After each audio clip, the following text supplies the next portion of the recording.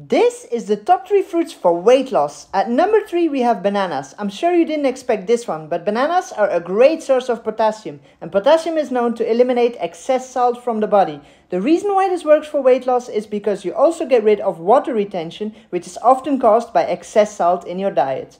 Number two is all citrus fruits like oranges, limes, and lemons. When the body encounters toxins, it will store them in the organs and coat them in fat cells, which can easily lead to excess fat. Citrus fruits are highly astringent, which means they will help you detoxify toxins by extracting them out of the fat cells and hence burn the fat cells themselves. At number one, the best fruit for weight loss is watermelon. High in water content and fiber, this fruit is your best colon cleanser that will instantly reduce bloating, speed up your digestion, and flatten your belly in no time.